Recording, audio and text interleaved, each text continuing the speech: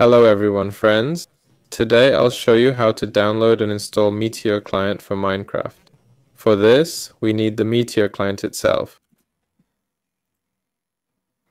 Click download accordingly.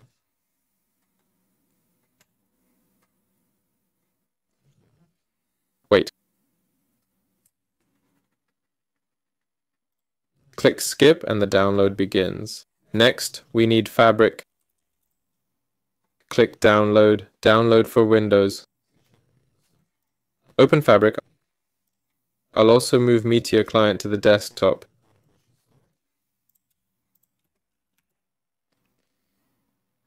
Here we select version 1, 21.8 in my case, and click Install. After that, type run, then type percent app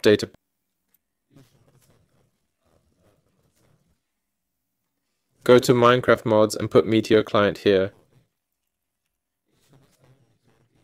After that, launch Minecraft Launcher. Oops! Minecraft Launcher.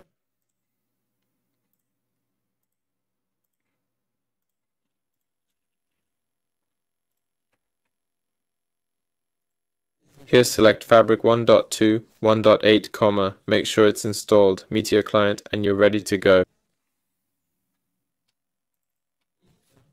That's all. This was Name. Goodbye, everyone.